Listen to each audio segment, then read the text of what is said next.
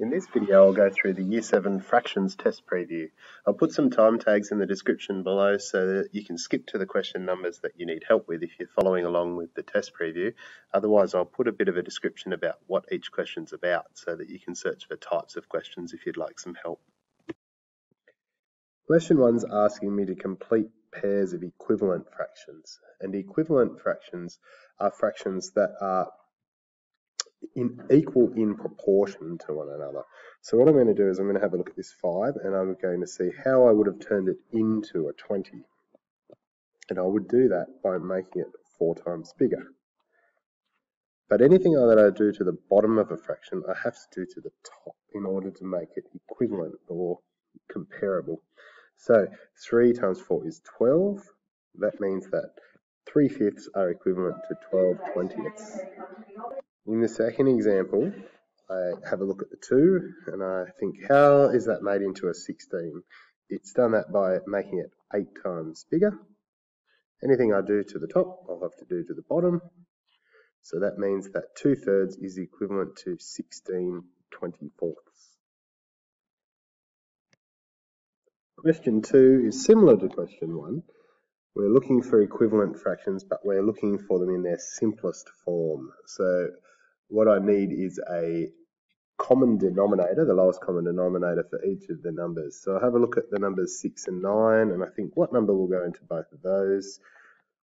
2 won't, so I'll try 3. 3 will go into 6 two times, and it will go into 9 three times. So the simplest equivalent fraction is 2 thirds. When I have a look at the second one, I can see that 2 will go into both of those numbers. It will go into 2 once, and it will go into 22 11 times. Question 3 wants us to turn these fractions into mixed numbers. So one good way of thinking about this is this is equivalent to 5 fifths and 4 fifths. Because altogether, I've got 5 plus 4 making 9 fifths. And so every time we've got a full 5 fifths, we've got 1 and 4 fifths left over. So if we have a look at the second one, we've got 7 sevenths, we've got another 7 sevenths, we've got another 7 sevenths, and another 7 sevenths. So in other words, we've got 28 sevenths so far and another six left over. And so if you want to move this into a, a mixed number, I've got one, two, three, four.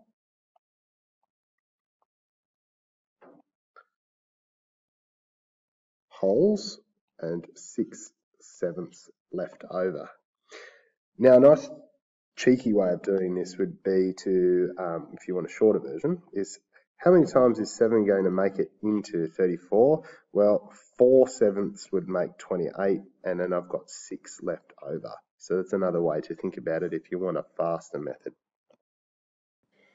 In question 4, we've got to move in the opposite direction to what we did in question 3. So we're turning mixed numbers into improper fractions. So really what we're looking at here, if we think about it, is we've got the 1 here, which is 5 of 5 parts, plus an extra 1 of 5 parts, which would give me 6 fifths altogether. So if we have a look at that again in the second one, we would have all 3 of 3 parts, plus all three of three parts, plus all three of three parts, plus all three of three parts. And that makes up the four wholes. And we've got two thirds left over. So in total, what we've got is 12 plus 2, which is 14 thirds. And again, if you're looking for a faster method to answer these, then I would be looking at as 4 times 3 is 12, plus this extra 2 makes 14 thirds, always leaving the denominator, which is the bottom of the, the number at the bottom the same. In question five, it's asking us to find the lowest common denominator, remembering that the denominator is the number at the bottom, okay? And then we've got to try and work out which of these two is the largest fraction. So what you might start doing is working out what the denominators of these two numbers are. So 1 times 6 is 6, 2 6s are 12, 3 6s are 18, 4 6s are 24.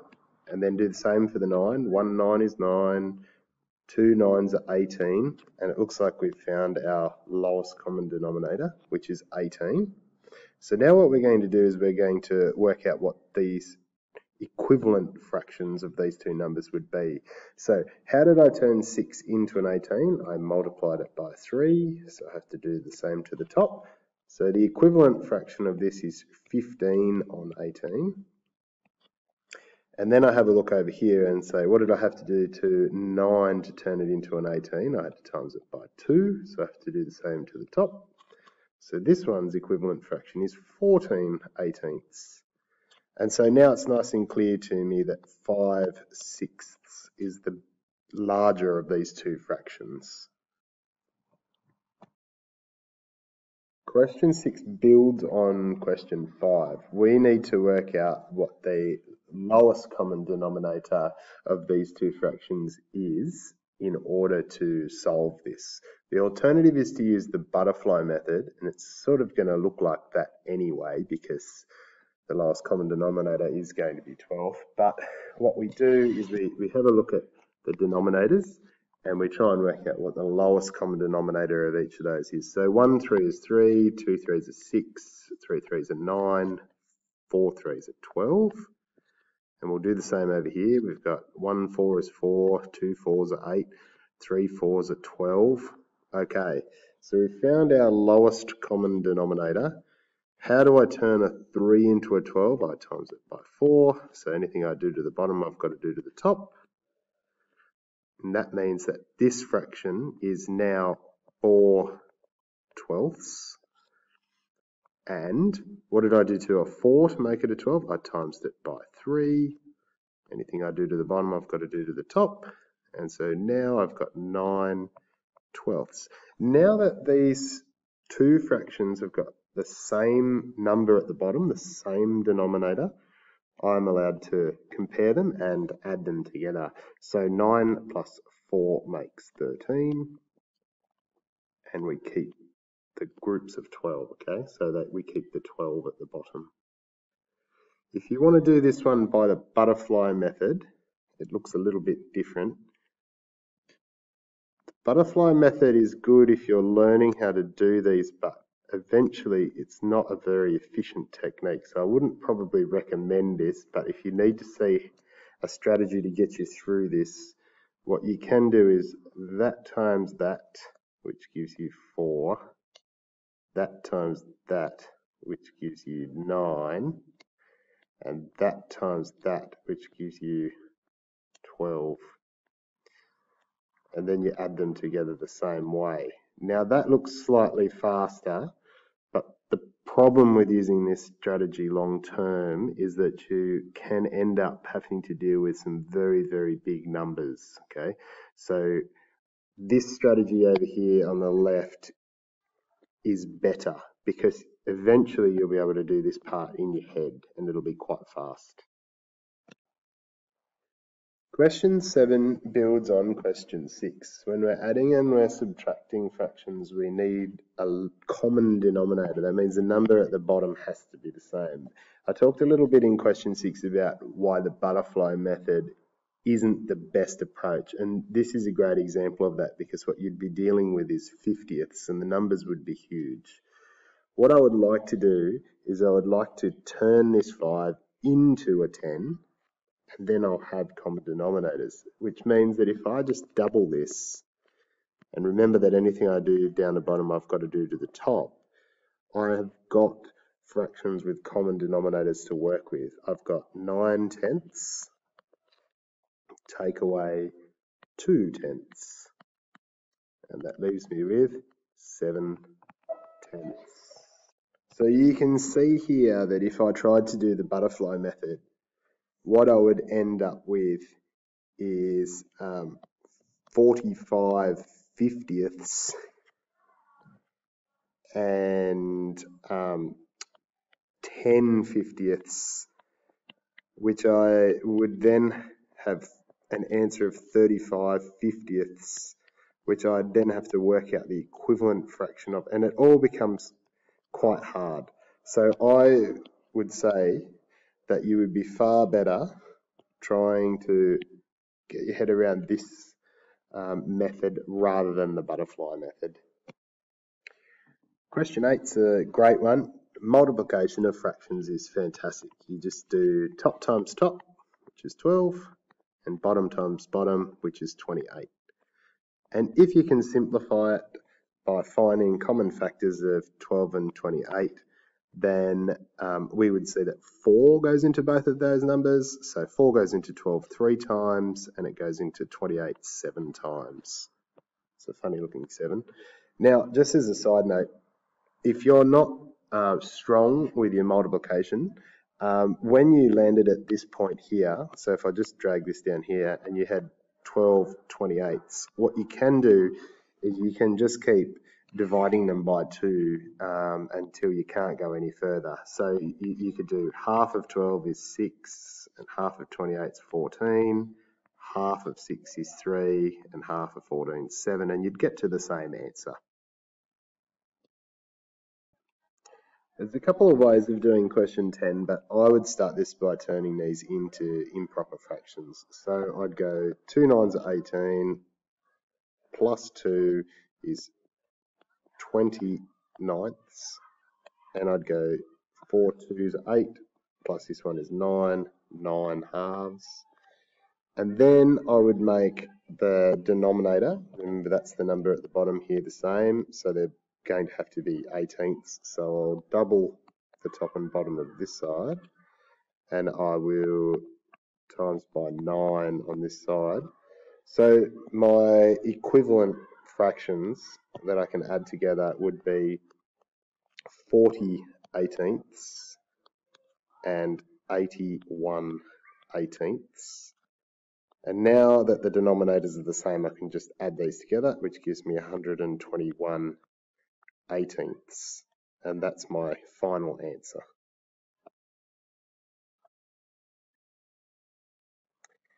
There's a little trick to question 11 to make it a bit easier for you.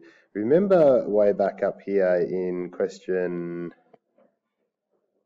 9, the one straight above it, how we just made it a times and flipped it? We're going to do the same here. So the first thing I need to do is make this a fraction. And then when I turn this into a multiplication, this just flips upside down. So we'll really end up with 12 over 1 times 4 over 3. Now it's just top times top, bottom times bottom. So this one will be 48 over 3. And we can simplify this fraction because 3 will go into 48 we're going to 4 one times and we're going to 18 six. So we'll end up with the uh, answer Question 12, uh, it's a worded problem, but let's make it a nice simple one. If Cam had a quarter of a chocolate bar and Sarah had 3 eighths, how much did they eat altogether? Really what we're asking here is 1 quarter plus 3 eighths. We have to make the denominators the same, so let's double four to make it an 8. Anything we do to the bottom, we've got to do to the top. So the real question is 2 eighths plus 3 eighths. So altogether, they ate 5 of the 8 pieces of chocolate. Question 9's got a little trick to it. It's a division question, but when you see the division of fractions, don't do it. Instead change it to multiplications because it's much easier like we saw in question 8. So instead of dividing, I'm going to times. And all I've got to remember to do is flip the second fraction upside down.